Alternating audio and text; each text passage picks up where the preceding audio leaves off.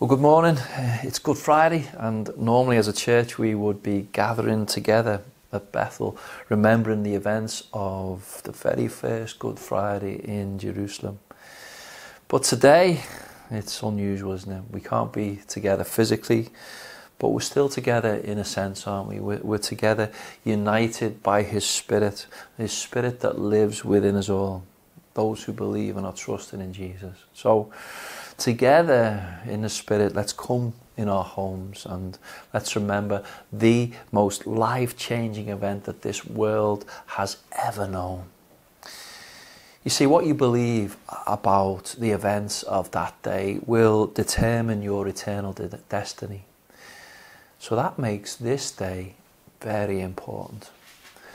So have your Bibles open please, at uh, Mark 15. And we're going to be reading from verses 33 to 41. And have your bread and, and your juice ready for a time of communion at the end of this message. And let's ask God um, to help us before we do this. Let's come to Him in prayer as we solemnly rejoice in the events of that first Good Friday. Let's, let's pray. Father, we are thankful that we're here. We're, thankful that uh, we can remember with faith in our hearts the first Good Friday. We can remember exactly what you did for us by sending your Son to die in our stead. Father, thank you. As we gather, remembering that day, as we read a passage of Scripture that, that speaks of that day, would our hearts again solemnly rejoice because all of it happened for our sake. And Father, as we come around um, the communion table, so to speak, later on, would you bless our hearts, refresh our souls as we remember you and your love. In Jesus' name, Amen. So the question I'm asking this morning in our devotional time is, is why is Good Friday so good? Why do we call it Good Friday? Surely there is nothing good about this man Jesus dying on, on the cross. How can we call it good? So with that question in mind, let's let's turn to the account written by, by Mark uh, in Mark's Gospel and let's examine the events afresh, seeking to understand why this day had to happen in order to make us eternally safe.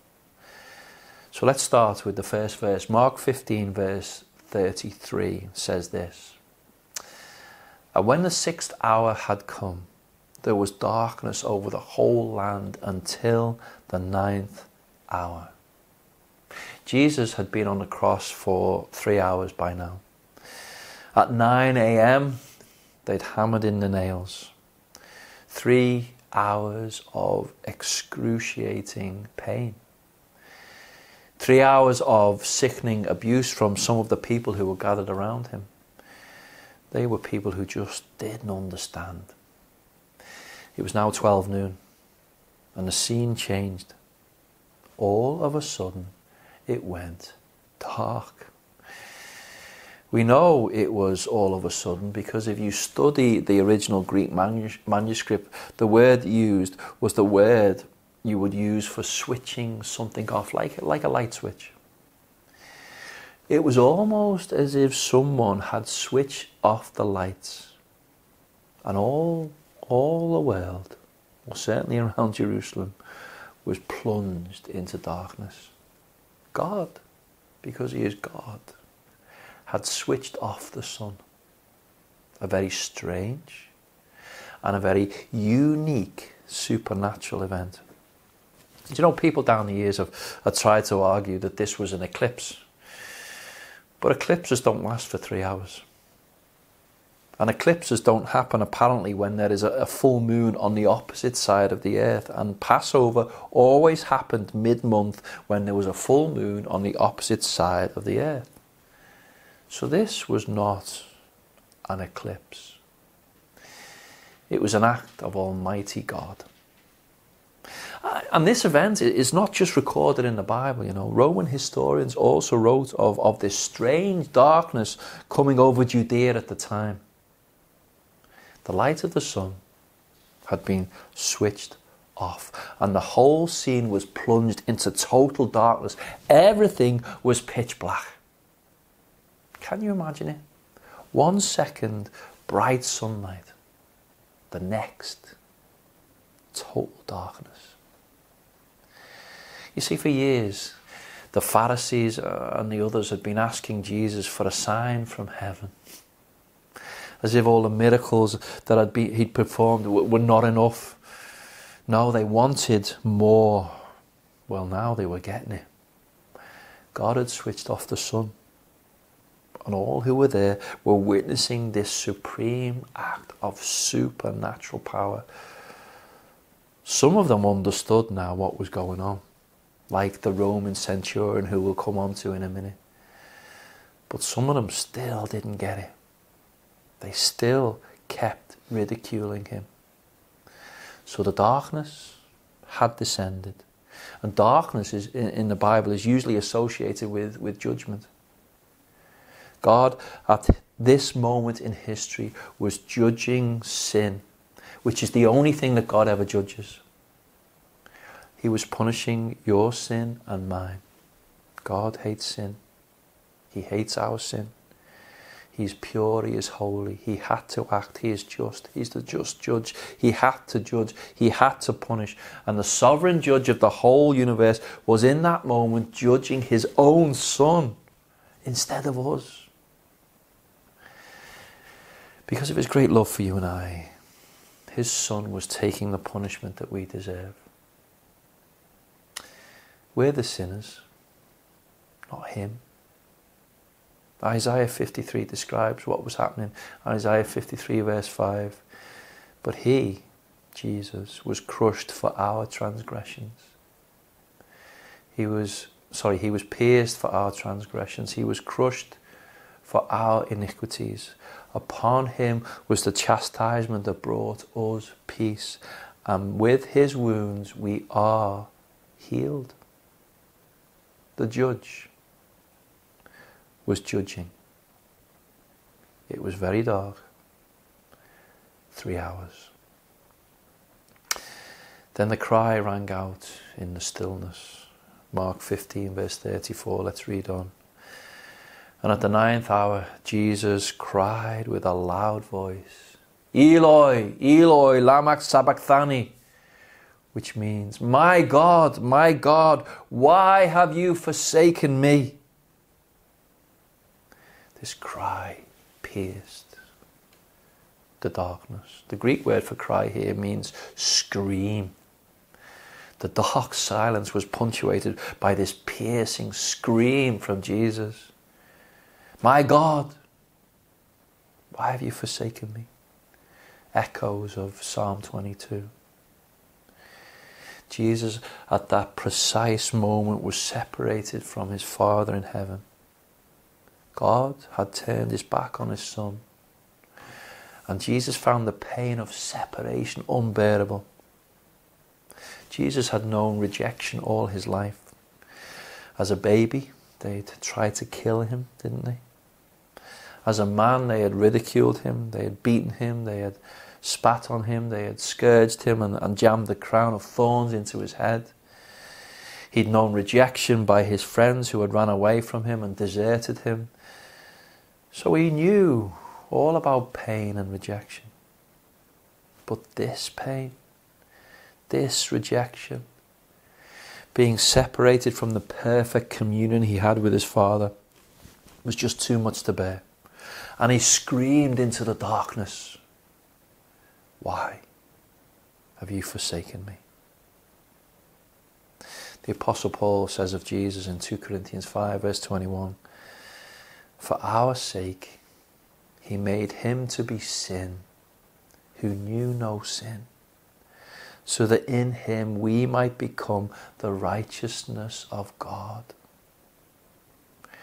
Jesus the innocent Lamb of God was being punished for us. He made him to be sin for us. Our substitute was on the cross. We're the ones who'd sinned. We're the ones who'd gone our own way. We're the ones who had turned their backs on God. We should have been nailed to the tree, not Jesus.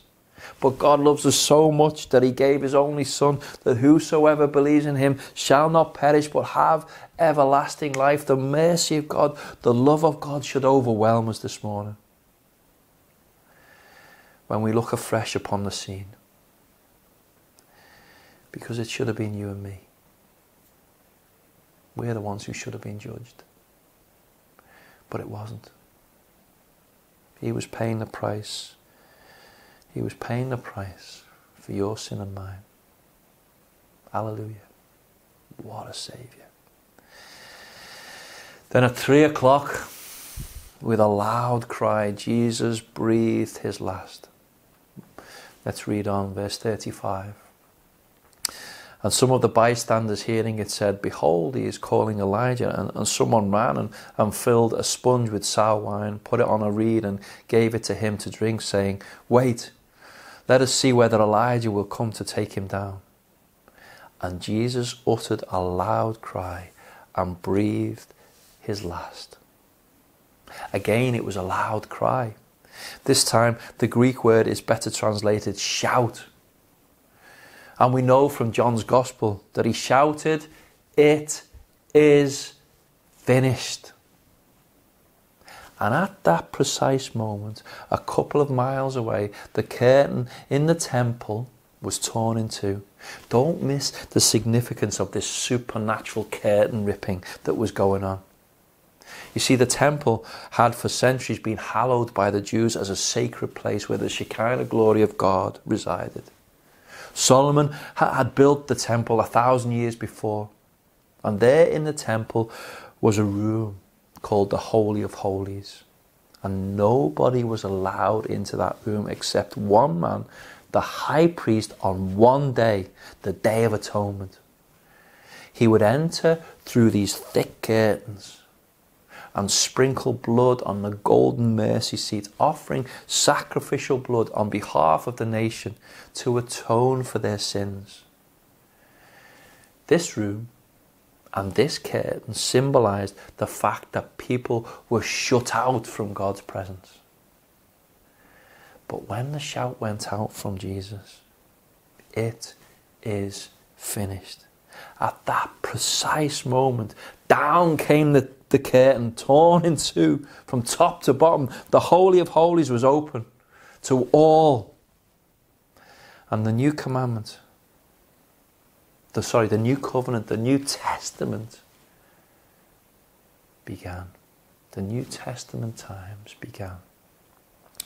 No more Day of Atonement. No more high priests.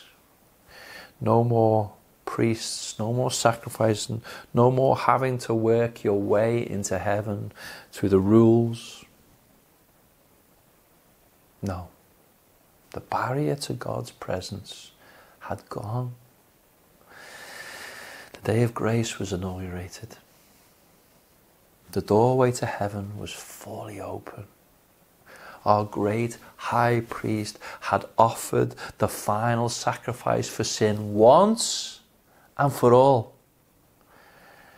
And now you and I, who live in the New Testament times, have been granted access into the very presence of God because of the blood sacrifice of Jesus. God has allowed you and I into his presence through the death of his Son. All that remains is for you and I to believe. To believe and to repent. To repent of the sin that, that had him pinned to the cross. And then to trust your life to him, your eternal life. See afresh this morning the Son of God dying for you on that cross.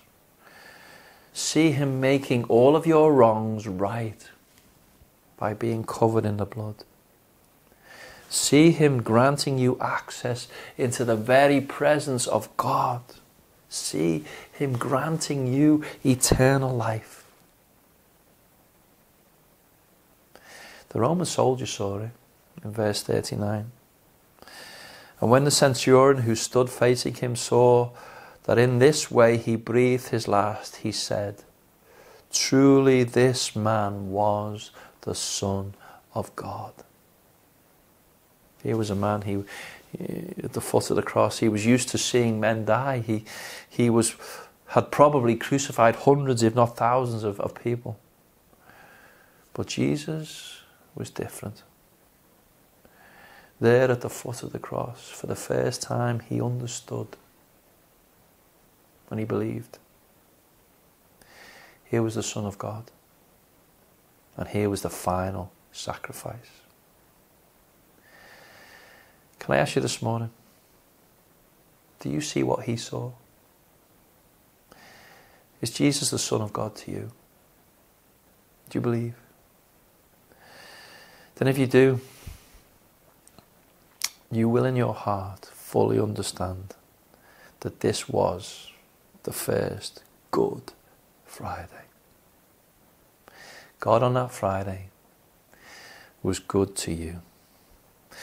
No matter what happens during this pandemic, you are eternally safe because on that very first Good Friday, Jesus was good to you. Rejoice in that day, Christian. Remember that day, Christian. If you do believe, then why not join me now in an act of worship, giving thanks for his life, giving thanks for his death and his resurrection as we eat the bread and drink the wine together, something that we're commanded to do because our God knows how easily we forget. It's going to be unusual because this is the first time we've ever done it separately. But as we eat and as we drink, in our homes, separately, yet together by the Spirit, let us all give thanks for the one who died in our place. Let's pray. Father, as we come around this table of remembrance, as we partake of these elements, Lord, would you refresh our souls as we remember how the perfect Lamb of God was sacrificed for our sake. So, in our homes, Lord, by your Spirit, lead us together now, we ask. In Jesus' name. Amen. Well, the Apostle Paul writes of that night when the the Lord's Supper was inaugurated, he said this in 1 Corinthians 11, verses 23 to 26. For I received from the Lord what I also delivered to you that the Lord Jesus, on the night he was betrayed, he took bread. And when he'd given thanks, he broke it and said, This is my body, which is for you. Do this in remembrance of me. So, why don't we take the bread now? Why don't we take the bread and break it? Let's give thanks for the bread. Lord, we're doing this in remembrance of you. You left heaven's glory. You came and lived amongst us. You showed us in your humanity and in your deity how we should live. Lord, you were subject to so much abuse for our sake. You were the man of sorrows who led the way. Father, and Lord, your Son, your Son was broken for us in many ways. So, Lord, as we take part of this bread together in our homes, would we remember you afresh as we eat? In Jesus' name. Amen.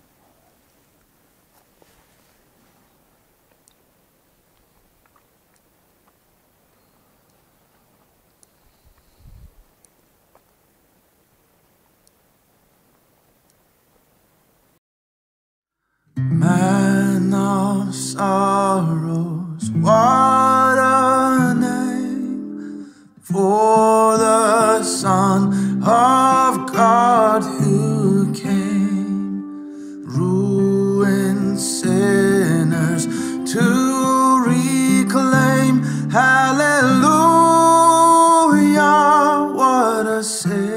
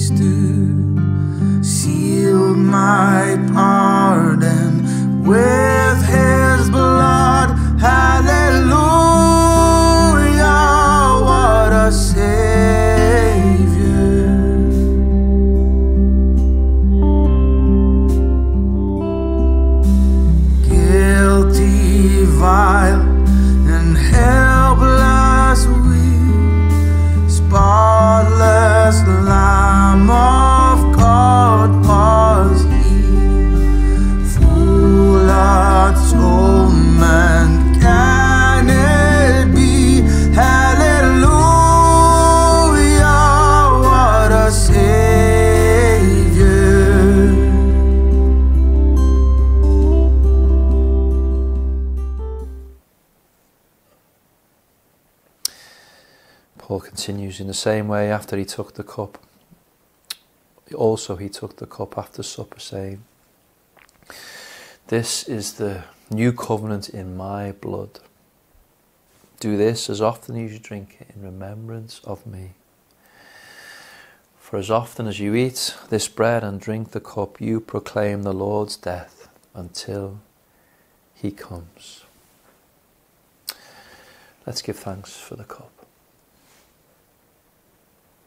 Lord Jesus, thank you. Thank you for your precious blood poured out for sinners such as me and for those listening at home. Thank you that your blood makes us clean. Thank you that we are as white as snow now because of your saving grace on that cross. So again, as we drink and remember your sacrifice, may our hearts be uplifted together as we remember just how much you love us. Draw near unto us now, Lord, as we remember you. Thank you for the cup. Amen. Well, let's drink and remember together.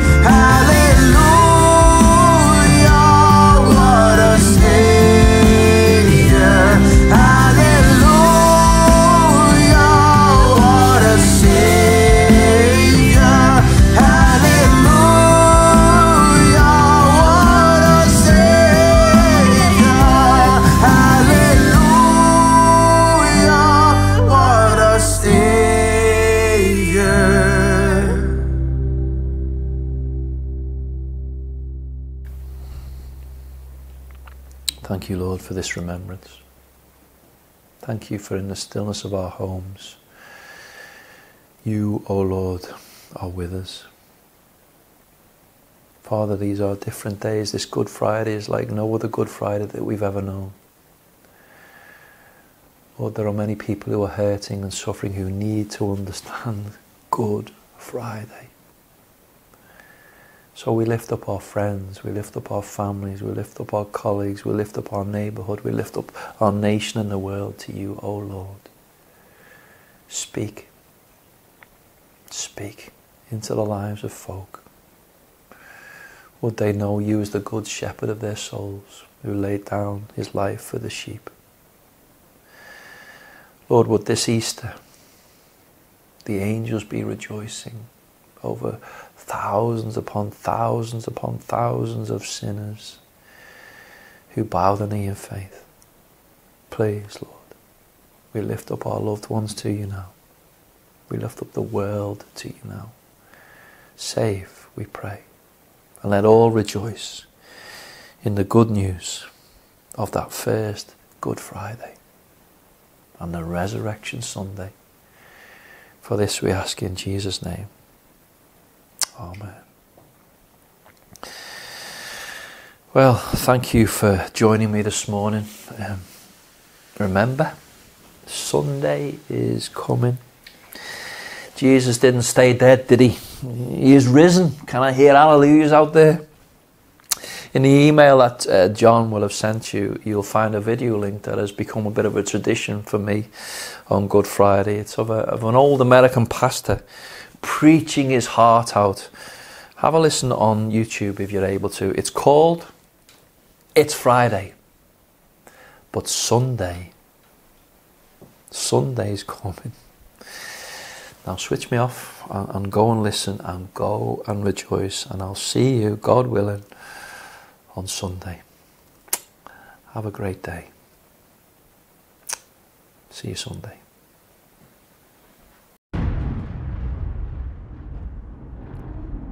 It's Friday. Jesus is praying. Peter's asleep. Judas is betraying. But Sunday's coming. It's Friday.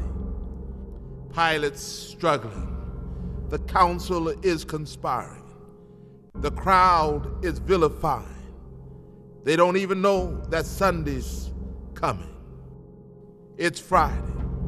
The disciples are running like sheep without a shepherd. Mary's crying. Peter is denying. But they don't know that Sundays are coming. It's Friday. The Romans beat my Jesus. They robe him in scarlet. They crown him with thorns. But they don't know that Sunday's coming. It's Friday. See Jesus walking to Calvary, his blood dripping, his body stumbling, and his spirit's burdened. But you see, it's only Friday. Sunday's coming. It's Friday. The world's winning. People are sinning. And evil's grinning. It's Friday. The soldiers nailed my Savior's hands to the cross. They nailed my Savior's feet to the cross. And then they raised him up next to criminals. It's Friday. But let me tell you something Sunday's coming. It's Friday. The disciples are questioning what has happened to their king. And the Pharisees are celebrating that their scheming has been achieved. But they don't know it's only Friday. Sunday's coming. It's Friday. He's hanging on the cross, feeling forsaken by his father, left alone and dying. Can nobody save him? Oh, it's Friday, but Sunday's coming. It's Friday. The earth trembles. The sky grows dark. My king yields his spirit. It's Friday. Hope is lost. Death has won. Sin has conquered. And Satan's just a laughing.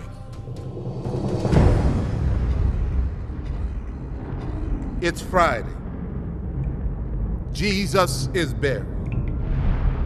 A soldier stands guard, and a rock is rolled into place. But it's Friday. It is only Friday. Sunday is a coming.